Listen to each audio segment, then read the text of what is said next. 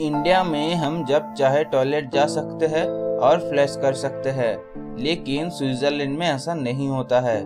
वहाँ पर रात को 10 बजे के बाद टॉयलेट फ्लैश करना मना है, क्योंकि वहाँ के लोग ये मानते हैं, रात को टॉयलेट फ्लैश करने का साउंड से लोगों का नींद खराब होता है। ये चीज़ सुनने में अजब लग रहा है, लेकिन ये सच है। ये चीज़ पूरे स्विट्जरलैंड पे तो नहीं, स्विट्जरलैंड का कुछ कुछ अपार्टमेंट में होता है। ऐसे ही अमेजिंग वीडियो पाने के लिए चैनल को सब्सक्राइब करना ना भूलिएगा। मिलते हैं अगले वीडियो में।